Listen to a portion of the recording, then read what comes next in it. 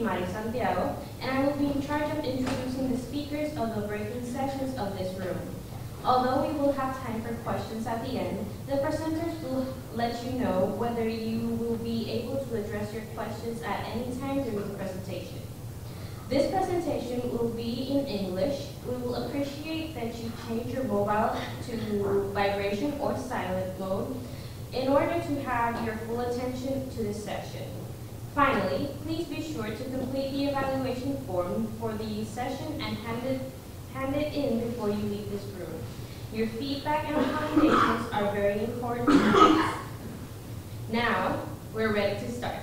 The title of the presentation is Just In, the Values of Online Integrated Interlibrary Loans to Broaden Access to Information Resources.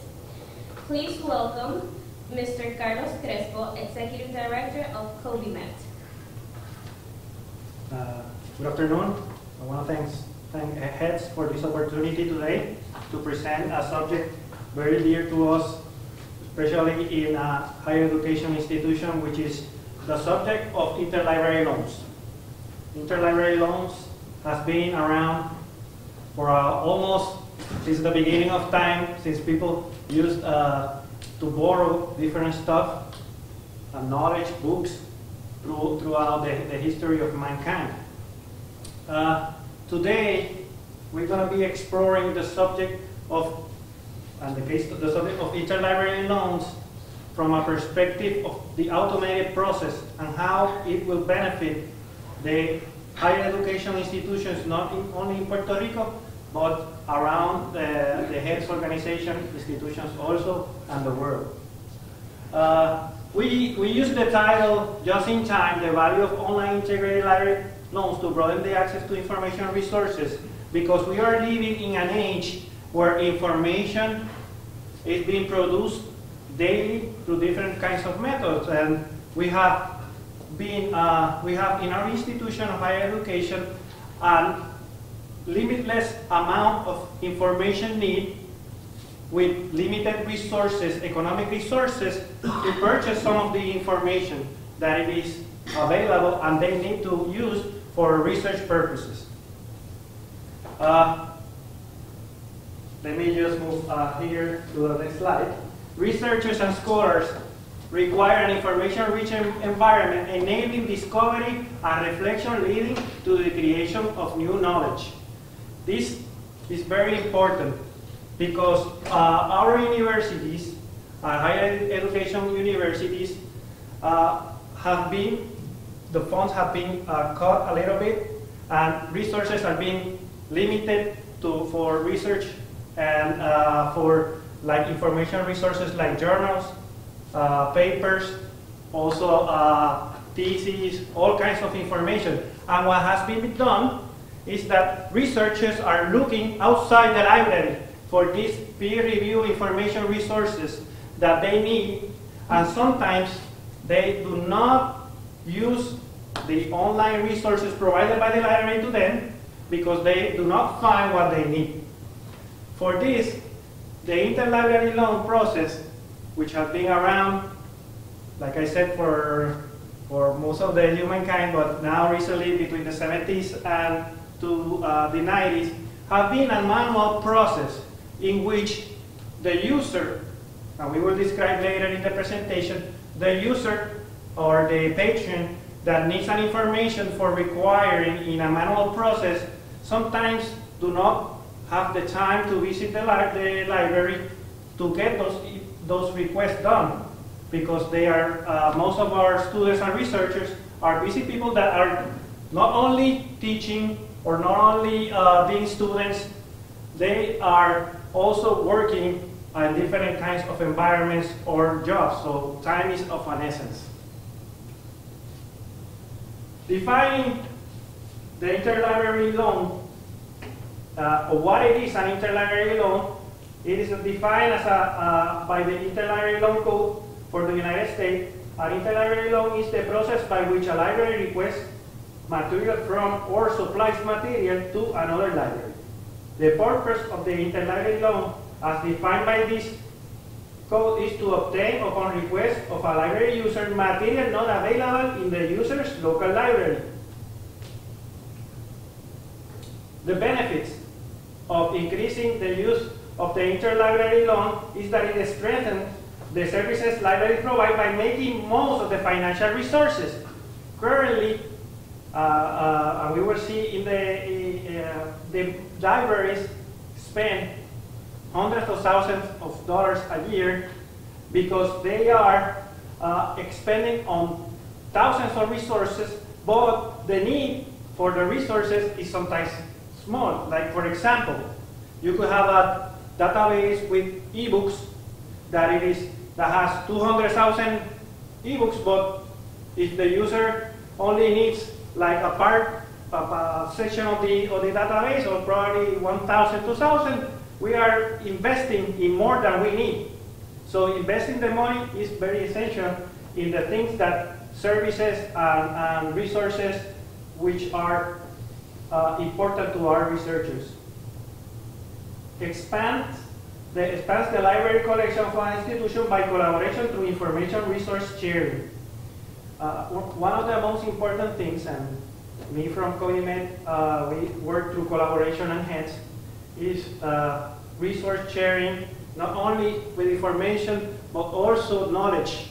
And also with uh, resources like professors that contribute like this activity today to the knowledge of all individuals in the institution. So collaboration through information resource sharing comes natural to us, right? As being part of HETS. The development of collaboration strategy for information sharing through interlibrary loan services has become an important service to reduce the gap of information needed by researchers and scholars. So basically, the strategies to reduce the gap of information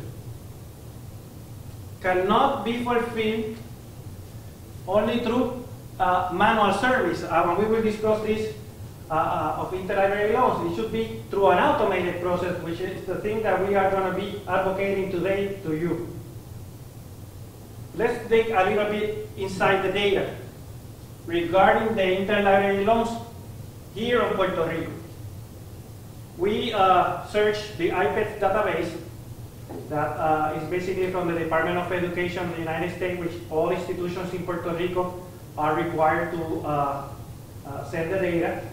And we were amazed at the data that the institutions that have, that do not have, the percentage of institutions that do not have interlibrary loan service is a high 38%. This is, for, for us, it was staggering. In the United States, it's less than that. Uh, the total ILL and documents received yearly by institution is 6,664, and they provided to other libraries were 10,326. So, we are providing more information than receiving, than requesting the information. What does that, what does that tell, tell us? Well, we are not using the system efficiently. It's almost double. We should be receiving as well as we are providing. It should be the same or nearly the same because we are, we, the institutions need to take advantage of receiving this information. We dug deeper into this and we wanted to know the total interlibrary loans received by institution name. And it was this institution, the University of Puerto Rico in Rio Piedras, that received the most interlibrary loans. There were 1,851. The Inter-American University, which has a lot of the uh, uh, uh, centers of the, of the Inter-American University, San Germán, Bayamón, and also the Metro were, the, were also included the Universidad Central del Caribe the, and the University of Puerto Rico Medical Science and Ponce Health Science University. there's something particular in this data, is that most of them are research institutions that uh, like have medicine or provide graduate studies. So the interlibrary loan has been more related to research regarding higher, higher education or graduate students. But we can, if we better this service, and we will see how we can better this and how the case of our institutions are been doing it, we can expect more of these interlibrary loans, not only in the graduate or postgraduate, we can do it on in undergraduate students also. The Ponce Health Science University, which is the one that provides the most interlibrary loans to other institutions, is staggering 5,138 interlibrary loans a year. Still, the numbers for in the previous slide show that for the number of, of students that we have uh, on, uh, on, on, higher education or universities in Puerto Rico is, is low, very low. Now we're going to discuss a little bit about the interlibrary loans from the manual versus the automated request process. Manual meaning we are filling forms, we are filling forms that are not automated, that we require sometimes to bring to the university in, by person or, or sending it by email, filling it out and waiting it out. The, and we were going to go through the process of, of a patron for uh, requesting in a manual process. The patron, the patron searches the online public access catalog, electronic database, or other internet resources. And they do it not simultaneously they go by each of the by each of the system or databases to ask to, to see if they can find the information that they need. Not an automatic, not a simultaneous, if not sequential searching process. Then, after the search, the patron completes the form by hand or electronically submits it to the library. By then, the request is received by the library which, which processes that through searches in a catalog of a partner institution, consortium agreement for request resource submission. Once the library does this part, does this part, which is searching for partner libraries, the submission the library requested to the university, and then the user must sometimes go to the university, sign an agreement, and receive the information or, or uh, to uh, receive, the patron receive the information that they need. One thing that is very important is that copyright agreements for this interlibrary loan process is essential. That's why most of the institutions require that the user signs a form saying that they will comply with uh, copyright and uh, fair use of the information that they need. Uh, we will see now how we are doing it in an automated library loan process, which is the process that uh, the institutions that are members of COBIMET, uh, most institutions that have this service of the automated process, use the interlibrary loan. The patron search the discovery system which allows simultaneous search of the online public access catalog, electronic database, and indices in the institution's libraries. Uh, the discovery system, I'm going to be explaining a little bit more, works like a Google-based search engine, which you can use to simultaneously search all the documents that are on the online catalog all the documents which are in the repository, and also databases for books. Uh, that will be books, uh, journals, theses, and all the information that they require or need. This reduces the time for the user to go to different places to do a sequential search for the information. Once the user searches the, the, the pattern completes an automated pre-populated form with the bibliographical information of the resource that they need. And we will see an example of how this works in a couple of minutes. The library uses an automated World collaborative tool to search for the resource which allows the, not only the institution but uh, uh, the user to comply with the copyright because the system already provides the form for an automated process for the copyright and comply with the copyright laws that are uh, comes with the documents that they be using. And once the, the, it is processed, it is sent to the library uh, patron. It's a more simple process, reducing in two areas. It will reduce by doing the simultaneous search, pre-populating the form, and, com and compliance with uh, copyright and also with a world of collaborative institutions that have information and can provide it to the Uh, patrons of the university. One thing is important also, the, the sharing of the information, sometimes it is free. The institution, some institutions do not charge for the information, just complying with the copyright, but sometimes it's cost. There's a cost involved for sending that information to the patron, right? So the institution need to have a budget for that part, but the budget, that budget will come from reducing the quantity they invest in electronic resources that they really don't need. The benefits of the automated library loan process are a lot. Ease of use by for the patrons, a single search using the discovery system, and a pre-populated bibliographical information ILL form, the libraries manage ILL, ILL workload more efficiently. With a manual process for ILL, there is a lot of time in one-on-one -on -one conversation with other libraries to fulfill the request. And the system that we use, which is WorldShare, simplifies the process by showing the other libraries holding policies and fees before you make the request.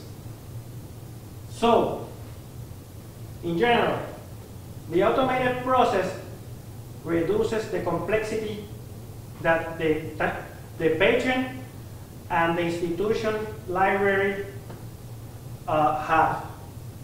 It is essential, like for example, uh, we did a customer survey, the user satisfaction survey, and one of the things that uh, it was done a couple of months ago, before the automated process, was that for requiring an information resource, the patrons needed to go through a long process of contacting different people to do an interlibrary loan, and it, for them it was a waste of time. We received multiple uh, uh, form completion, uh, customer uh, satisfaction with that type of, of, of mentioning.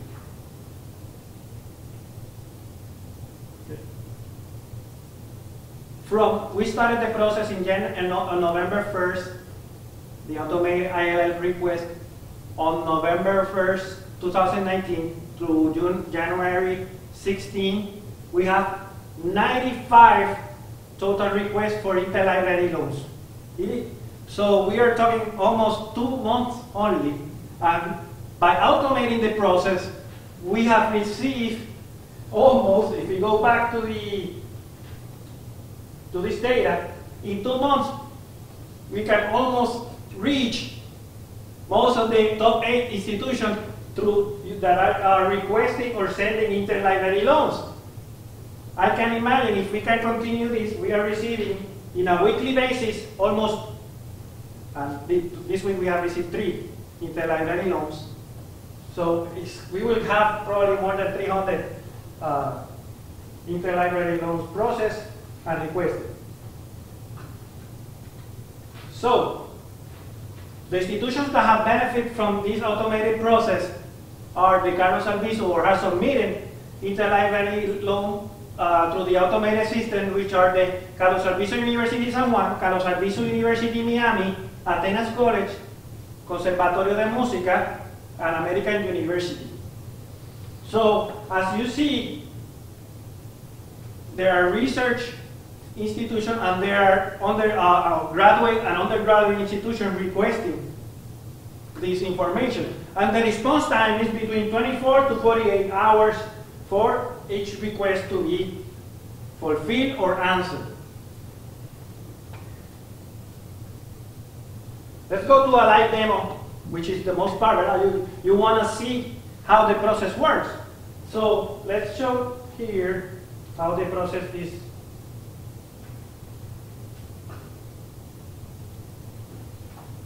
The virtual library. We're going to be using an example right here. This is the discovery system that we use for the virtual library for Albizu University, in which, let me see, we receive this same day an interlibrary loan request. Let me use one of the example of today. I have not done the search, but we're gonna try. Of one that we use today.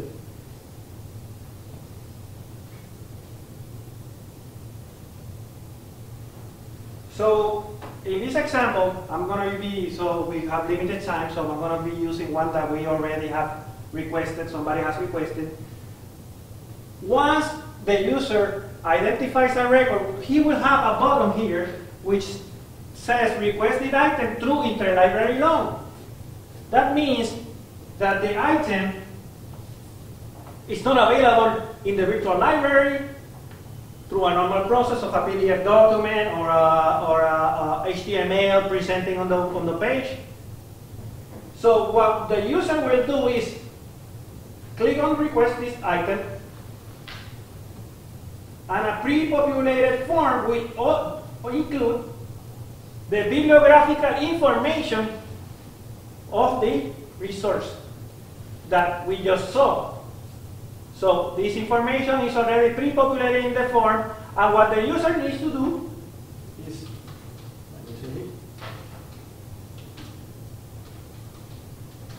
fill out the form.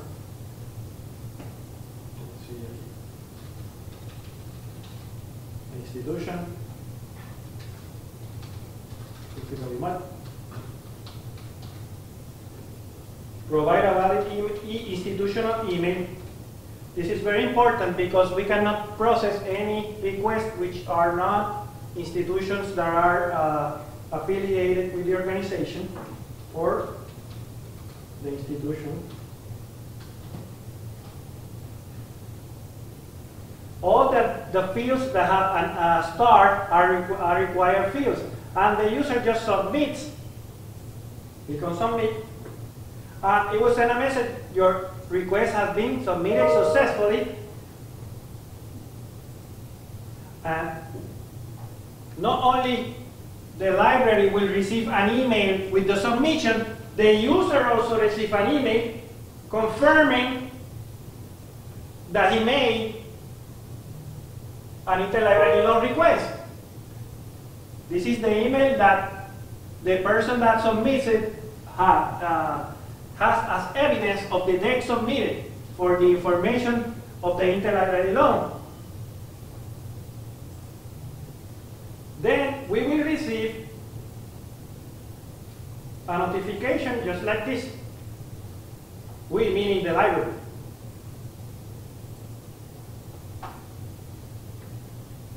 And then we will be moving towards the WorldShare resources and contact, just reply with the information that the user needs, uh, with the file or the information that the user has requested. What we are experiencing is that I, I know as many of you researchers have done in the past, is that not only do we need in our libraries, uh, uh, virtual libraries, information of uh, full text documents, we can add indices, indices that provide the bibliographical information that they can retrieve. Like for example, uh, this information is from a database that uh, is very famous in the in the research world, which is called Science Direct, and articles are very expensive. So the institutions, including most of the institutions, cannot because uh, what I'm going to tell you is something that is common knowledge. A subscription for like uh, the University of Puerto Rico for Science Direct costs almost $1 million a year because information is not free. in most of the cases, uh, research information are included in journals which are limited to this. So what we do is through interlibrary loan reduce the cost, we don't need to subscribe the whole database, and we can then have the process, the, the data, the, the index, index data and bibliographical information included, and provide the virtual library services, the interlibrary loan service to the user. One of the things that I will recommend also is that for our scholars, use Google Scholar. Google Scholar also integrates, could integrate to this uh, system, which then your library will also see the information here for the request of the interlibrary loan. One, so in, in uh, summary, the system, automating the system will provide with a lot of information, reduce cost for the institution, and it is a simple process that they can perform and integrate. So basically, that's what we wanted to present today. Uh, if there are any questions, how, uh, gonna be important. This uh, automated form for interlibrary loan can be used for the persons that are using EBSCO host or EBSCO Discovery Service. That form can be integrated easily contacting their EBSCO, their EBSCO uh, uh, provider technical support. So any questions? No? Well, uh, thank you very much then. Uh, I really appreciate the time and I hope that uh, most uh, institutions take advantage of uh, automated process or system for interlibrary loan. Thank you.